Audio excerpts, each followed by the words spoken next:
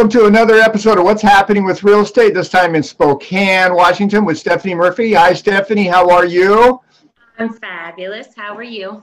I'm great. So, a lot of our viewers have been asking about home buying tips, Steffani, in this particularly competitive market that we have right now, where buyers are getting offers rejected and it's really frustrating. What can you do to help them out with that, with some home buying tips for potential home buyers? So, there's a couple of them that I'm going to give to people, and they might not exactly like what I have to say, but it's the honest truth. And so I'm kind of like a tough love honesty. deliverer. um, okay, so the first and foremost is obviously be pre approved and have your ducks in a row because there's nothing more frustrating than finding a house, getting under contract, and then all of a sudden now something happens to pop up in your financing, and then you are left without options. So um, what I highly encourage all of my buyers to do is to make sure that when they are getting their pre-approval letter, that it's really the pre-qualification, meaning that they're actually going through um, the pre-underwriting process, which you're fabulous at doing.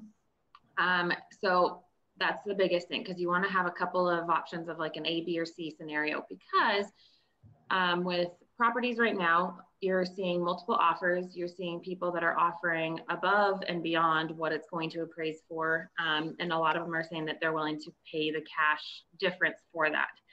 So, what I'm encouraging my buyers to do is to look at all the options that they have available, um, how to you know diversify their funds if they had to and then look at what uh, timelines are and just setting really realistic expectations um, that's been the number one thing too Good point. Secondly, is I would say if you're coming to the Spokane market because it's so fabulous and so great, well, newsflash should have listened to me like a couple years ago when I told you to do it because now it's in a frenzy.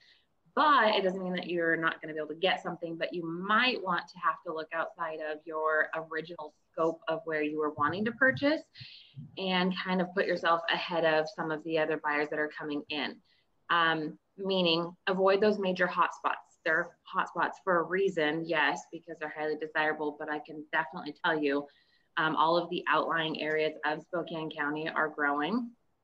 So if you're really serious about moving to Spokane or one of the areas around it, be willing to look outside of your initial parameters um, because you can find some success in some of those outer lying cities that are really not that far off, but you can still find houses that are still a good deal um, and that aren't necessarily, you know, seeing the 20 plus offers that you're competing against. So, um, Got it. So by hotspots, you were talking about homes that are kind of in inner Spokane. Is that correct?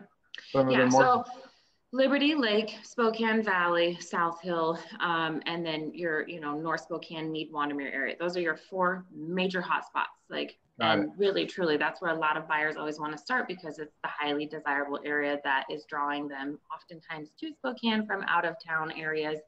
Um, and so when they see those, you know, that's where they're wanting to focus. But again, there's some really great outlying areas um, that you have some opportunity to, you know, be able to buy or build or do something. And you're going to have to be patient and you have to get creative in this market because the inventory is just not there. Like that's no secret. It's not anywhere really. So you're going to have to look to see how you can find it, create it, or get in on it while, you know, it's underway somewhere. So. So while we're touching on the markets that are further away outside Spokane, tell me what you think the downside and the upside of those locations are. Um, so typically the downside that people um, think with buying outside of Spokane is the commute to town um, for their job. But okay, insert this last year, a lot of off, um, opportunities now are allowing people to work remotely or telecommute. So therefore they can be working from home. So therefore, a lot of people have a little bit more flexibility now.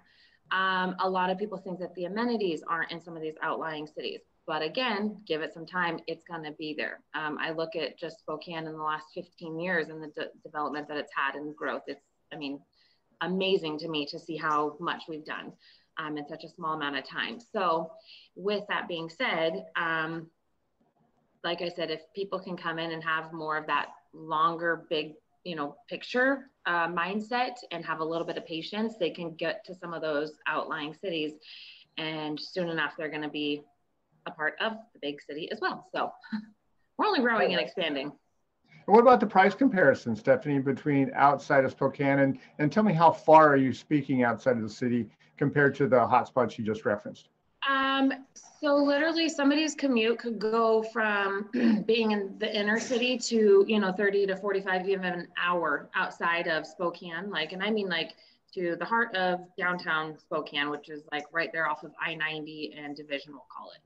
Um, an hour north of there, you're talking up into uh, like the Chewelah Colville area. To the west of us would be out towards like the Cheney Medical Lake, um, possibly even towards like Moses Lake. You wouldn't necessarily have to get that far, but there are some outer lying, you know, cities that are out there.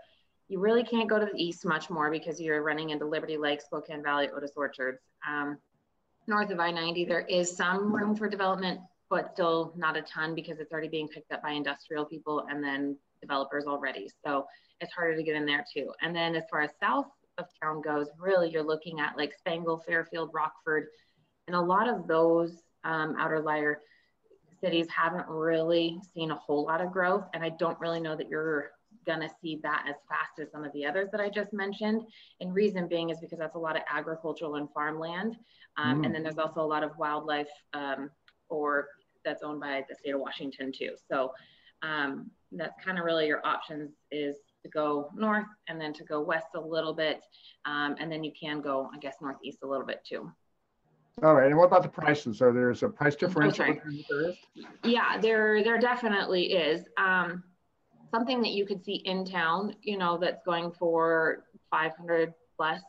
Um, you would see probably in those outlier cities, probably in the 350 to 450 price range. So, and the other thing is you're not competing against a whole lot of other bids, which is driving the prices up as well. So got it. You can still right, get so. good value and good homes, you know, in some of those outlying cities is what I'm getting at. Great tips, Steffani. Thank so you. one last thing, if you were yeah. to pick one area which you think has the best value for what people are buying, what would you say that is in Spokane? Do I have to give an honest answer because it's where I live? No, so you're gonna have some neighbors, Steffani. Where is that? so um, Deer Park, honestly, is truly where I think is going to take off um, in that area. So anywhere between the Wandermere area to Deer Park, maybe even a little bit farther towards like Loon Lake because that's the biggest area for development and there's a lot of amenities. Um, and I was lucky enough to get on in on my house, um, which was new construction. There's a decent amount of new construction going in out here. Um, that was less than 300,000. So you would not find that in town right now at all for a house of 1600 square feet basically. So that would not happen. Yeah. So if you go to some of those outlying areas, you can find some good stuff. Great tips. Don't be my neighbor. well, you're a good neighbor. I know that to be true. Hey, thanks. All right, guys. Steffani's contact information is going to be on the screen. Reach out to her by via email or a text, or her cell number will be there. Give her a call. She's yep. happy to help you. I'm sure find some of those great deals in Spokane, Washington. Thanks, yep. Steffani. Mm, thank you. Appreciate your time today. Until next time. Bye.